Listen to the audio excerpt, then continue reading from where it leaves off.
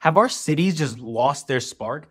Why is no one creative anymore? And if you guys get just sick and tired of this modern architecture that looks so boring and dull, and it feels like it's one of those that, that SpongeBob episode where Squidward is pedaling and he sees all the houses are all the same and everything looks like this townhouse development, but it's so boring. There's no authenticity. There's no culture. When I was traveling abroad, I remember seeing a giant door with a giant knob in the middle, and it didn't even open the door. It was the doorknob was down below, but it was beautiful. It was grandiose. It was architecturally brilliant, but that was designed years and years and years and years and years ago. Now, when we're supposed to be more advanced and better at design and more creative because we have the ability to, we're not. It's so boring. Even in New York right now, there's like anti-homeless benches where there's spikes on benches where they make this thing where you kind of just have to lean on it, and that's you sitting on a bench. Our design is anti-homeless. Our design isn't for the betterment of beauty or design. We had more beautiful designs back then. Now it's all cheap, fast, modern, but it isn't actually beautiful. And everything is going to this mindset of sameness. Cities of the past used to have so many different types of styles and vibes.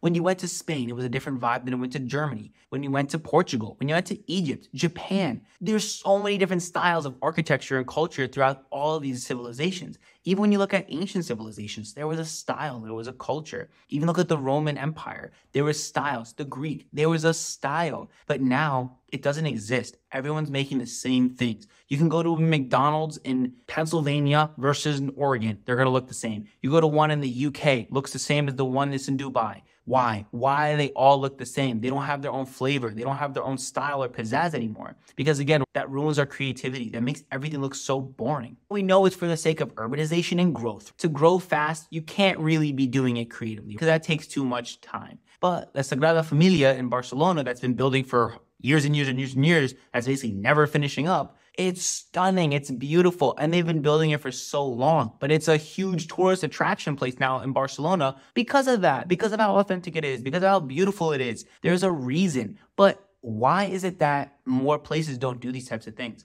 Because it just takes more time, it's not profitable, it's not worth their investment. But we should just build these giant skyscrapers straight up in the air and put colors on them and say, yep, congratulations, you built the building. But it's not beautiful. It's just big. What's the point of that? There's no sense of a walkable environment in a city where everything's authentic. It's built for humans to walk around and enjoy. But no, it's built for productivity, enhancing our society. And it's like robotic and it's not enjoyable. But you guys see this too, where we're living in this life of everything is the same and it's boring. There is this difference in level of modernism versus functionality. And if something's beautiful, but it's not functional, then yeah, I get it. What's the point? But there is a balance of something being beautiful and functional. And sometimes the best thing about the functionality and the beauty is when they mesh perfectly. I get it. You don't want all gold plated rims in the house and shiny and this and that, but what happened to the colors and the environment rather than these grays and these monotone colors? Even you look at cars, look at the popular car colors over the last 10, 20 years. People used to have these quirky car colors.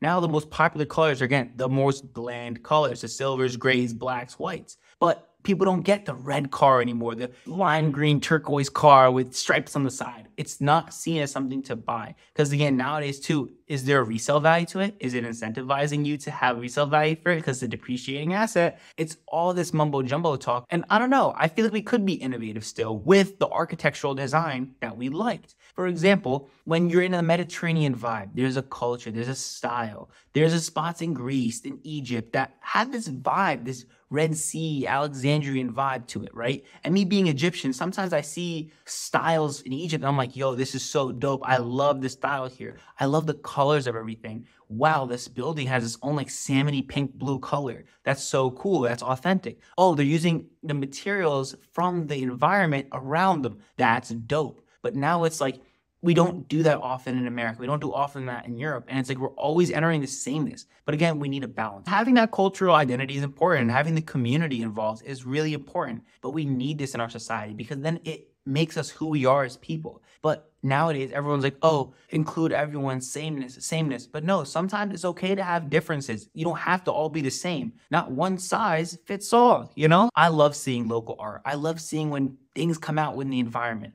Even when it comes to like music or art or dance or whatever it is, it's an expression of oneself. And per area in the map in the world, there's a different form of that expression. And shouldn't we also translate that not only to ourselves, but the buildings that are surrounding us? What do you guys think? Thank you guys again for tuning into another episode. Be sure to like, follow, share, subscribe, and comment down below what you guys think about this. Because I know you guys probably feel the same way and I've seen this as well. So again, please feel free to leave those comments. It boosts the algorithm. I really appreciate the love. I really appreciate you guys supporting. And again, let me know what you guys think about it. I'll see you guys next week.